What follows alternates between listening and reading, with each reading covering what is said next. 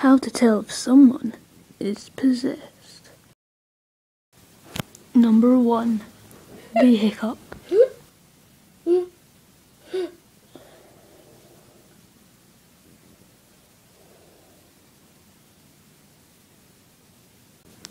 Number two, they can't keep their tongue in their mouth.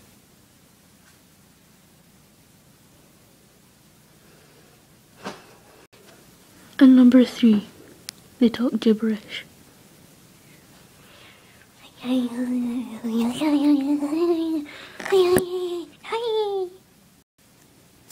I hope this video helped you to tell if someone is possessed.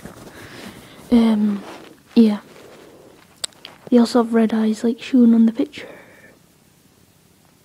Hit that subscribe button.